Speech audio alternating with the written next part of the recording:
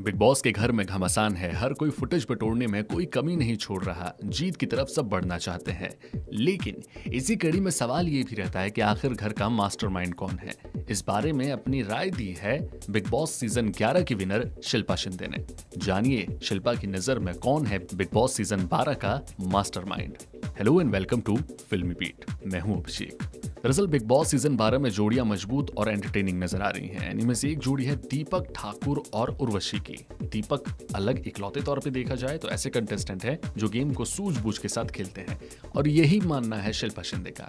हाल ही में एक इंटरव्यू में शिल्पा से जब पूछा गया कि वो इस सीज़न में किसे मास्टरमाइंड मानती है एक्ट्रेस ने तुरंत जवाब दिया और कह दिया कि दीपक ठाकुर। वो दीपक से काफ़ी इंप्रेस नज़र आई हैं। उन्हें लगता है कि दीपक शो में लंबी रेस का घोड़ा है, बहुत लंबा जाएगा ये लड़का। शिल्पा कुछ दिनों पहले घर में एक टास्क की मॉडरेटर बन भी नज़र आई थी, उस वक्त वो खान सिस्टर से भी काफ़ी इंप्रेस थी।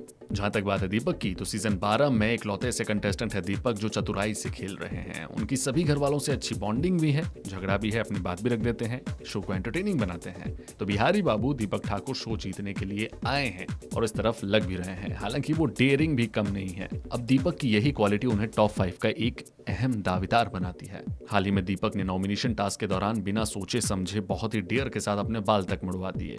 लोग काफ़ी इंप्रेस हो रहे हैं।